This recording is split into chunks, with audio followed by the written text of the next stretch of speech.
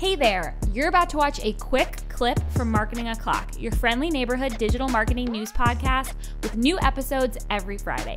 Don't forget to like and subscribe to us here on YouTube or look for Marketing O'Clock wherever you listen to your podcast. Okay, getting into the paid universe this week, we have a PMAX update that is incredibly nuanced. I'm going to throw it to Greg to give some background here. So when you eh, have a feed, so Performance Max is very different if you have a feed and if you don't have a feed. If you don't have a feed, it'll go out there and it's almost um, kind of like catered to discovery and, and YouTube a little bit more. But when you have a feed, it brings in all those shopping elements. Um, and with smart shopping, you can have that feed go through and just use the product data, just the feed, no other kind of assets around it or asset group type things.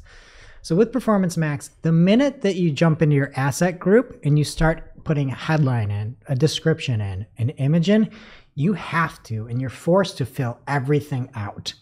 You cannot just put in a headline and then keep that feed in there. You have to fill everything out or you just cannot move forward with the campaign. the workaround is because Google had to migrate all these smart shopping campaigns over that didn't have any of this stuff, if you set up your campaign for Performance Max, you don't put a single headline in. You don't use a description. You don't use any images. You use nothing. Just that feed.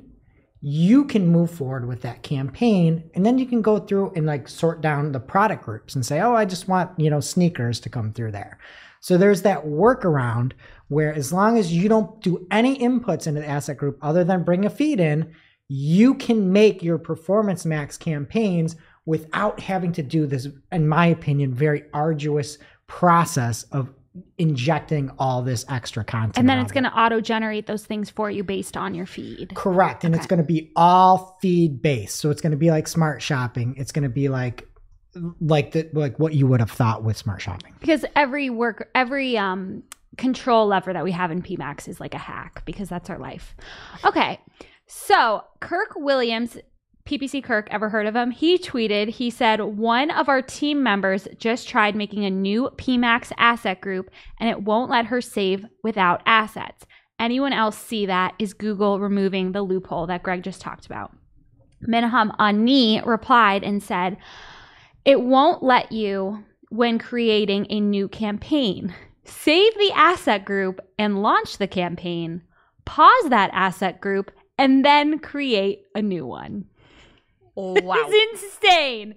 Mike Ryan um, responded again from his at Mike Ryan Retail Twitter account, and he said, The loophole to the loophole. It's funny because just on Monday, I was de- debating with a colleague if asset less PMAX will go away. I said no.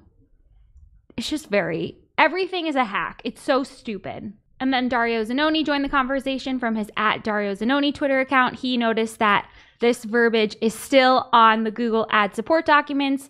Um, so he says Google has now added to the help documentation a paragraph that states it's okay to do PMAX without assets for shopping. Maybe this option is really here to stay. So I guess the loophole is still here for now, but it's really difficult to do. Thanks again for watching Marketing O'Clock. We'd love you forever. If you'd like this video, subscribe to our channel and share it with a friend. And don't forget, you can also catch our Famous Friday news show on your favorite podcast player every week.